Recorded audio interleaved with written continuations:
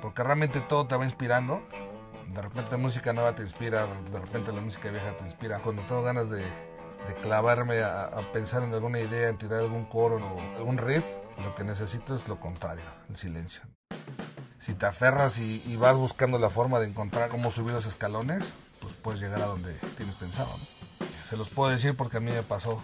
Te aferras a algo y, y, te preparas también para tratar de lograrlo, vas a, vas a tener un camino menos complicado. Creo que para alguien que tiene una trayectoria es muy interesante escuchar a alguien que apenas va a entrar en un mundo donde muchas cosas eh, todavía no están claras, donde no hay experiencia, donde hay muchas dudas.